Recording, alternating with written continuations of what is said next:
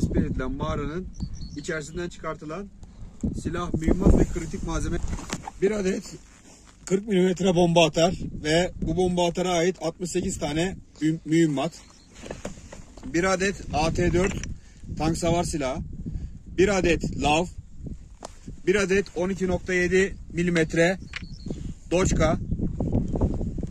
Bir adet Zagros keskin nişancı silahı.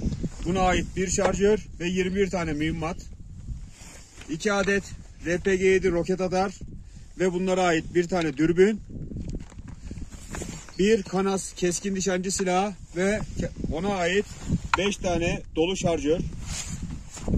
2 Bixi makineli tüfek ve bir tane yedek namlu. 5 adet AK-47 piyade tüfeği ve bu piyade tüfeklerine ait 44 tane şarjör. 66 adet RPG-7 roket tutan mühimmatı ve bu mühimmatlara ait 65 adet sevk fişeği.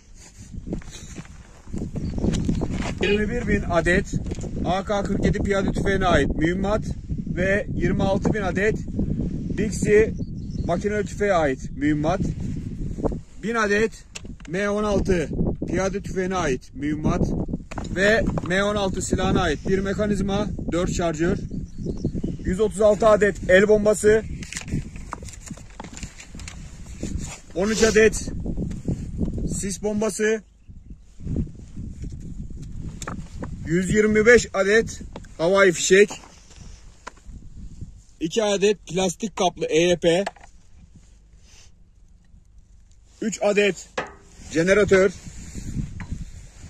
2 adet akü 7 adet oksijen tüpü ve gaz maskesi. 4 adet termal özelliği olan şemsiye. 3 adet UPS güç kaynağı. 2 adet monitör. 1 adet mağaraya havalandırmak için havalandırma fanı